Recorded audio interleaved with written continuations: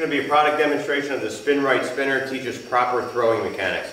We have an 11-year-old and a 9-year-old throwing this baseball. It's 100% genuine leather, feels just like a baseball, almost the same weight as a baseball.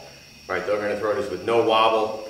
All right, that is telling us that we have perfect throwing mechanics. Our elbow is above our shoulder. We're coming through. We're not pushing the ball. We're getting it on top of the baseball.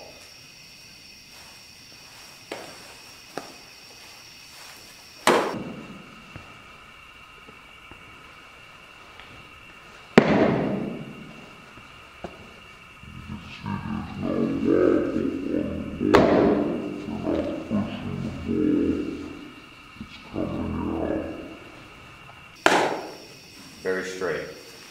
The 11-year-old is almost perfect. The 9-year-old's got a little bit of wobble. You know, there's something wrong with their throwing mechanics there.